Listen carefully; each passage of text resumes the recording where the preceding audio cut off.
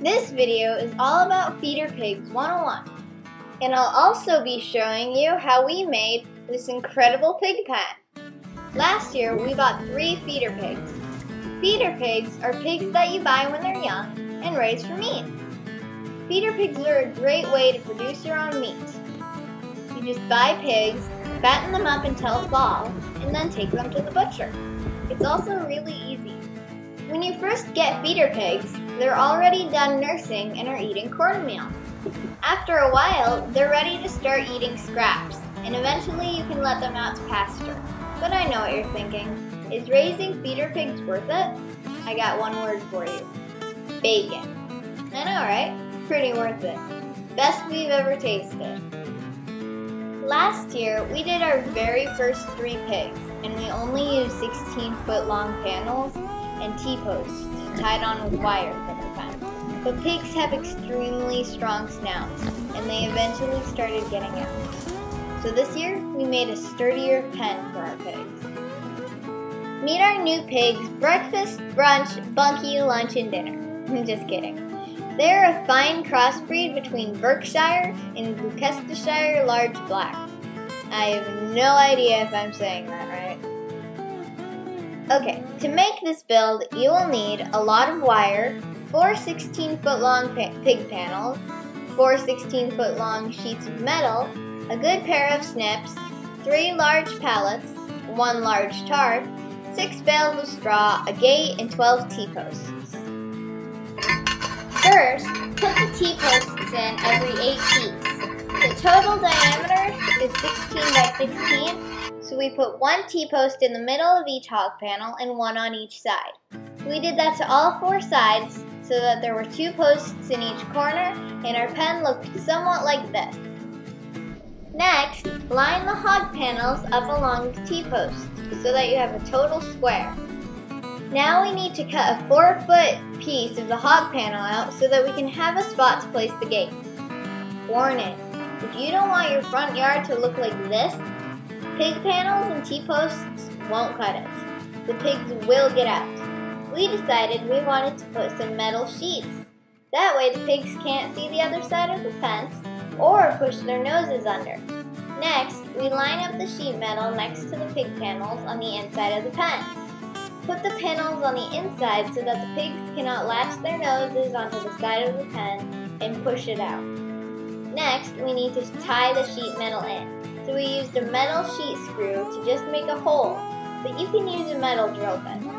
Then, slip a metal wire through the holes and tie it to the pig panels. This is one piece slipped through both holes. Then, use a side cutter or a plier to twist the metal tight. Now, we need to set up a nice little house so that they can sleep out of the rain or rough weather. We took two pallets of sides and then we pounded in metal posts to secure them. We put metal posts on both sides of each pallet so that they don't twist around and the pigs can't move them around.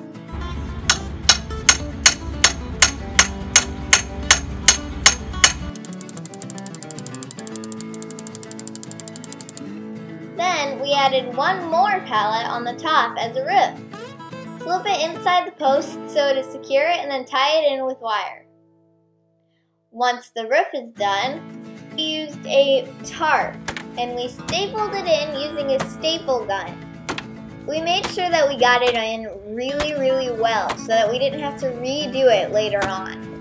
Now it's time for the straw. We're to take two bales and we're to coat the ground of the pig pen with the bales. Hi, Hestia. still working on putting ground. Make sure you have a nice thick layer on the ground so that they can play in it and roll in it and have fun. Hi, Meredith. Alrighty, looking good. So we have two bales here in the house so that they have a bit of wind block. We've got their little house and we've got straw on the ground. And we have two bins, one for water and one for food. I think it's pretty good. I think they'll like it. Alrighty, piggy day. We just got our pigs. Best way to take a pig into your pen is to grab their back legs and kind of guide them. because pigs are really strong. They'll try to pull away from you. And you can't carry them because they're really heavy. So that's the best way you can do it. Aren't they cute? So here's a quick update on our pig pen. It's been about a month since we put these little guys in here and we can already see that they've rearranged quite a bit. Their little house in the corner that we made out of pallets, they haven't taken it down yet, and I do see them sleeping in it a lot, so that's definitely working.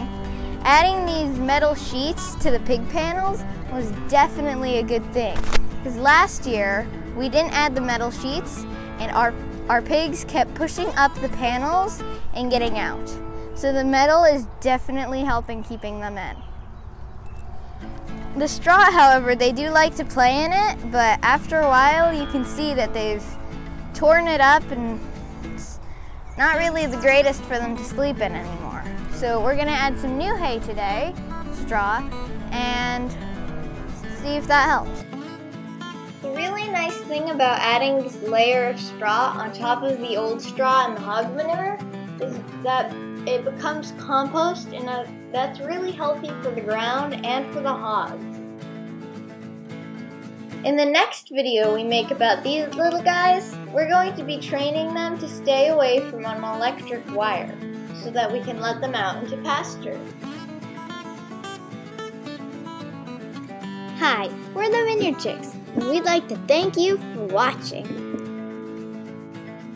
If you enjoyed this video, please hit the like button. Go ahead, click it now. We'd love to hear your questions and comments, so leave a comment. And don't forget to subscribe so you don't miss, miss our next video. Thank you.